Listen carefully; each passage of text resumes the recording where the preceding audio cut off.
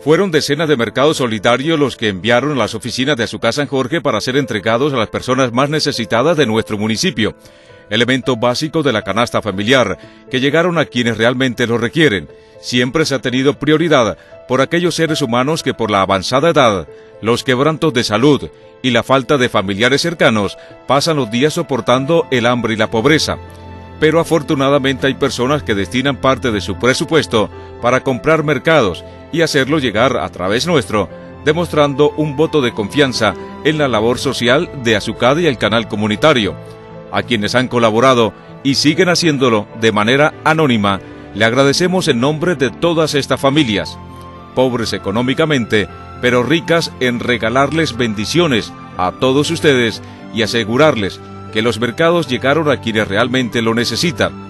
Recordarle las palabras sagradas de Jesucristo, que muy seguramente escucharán algún día.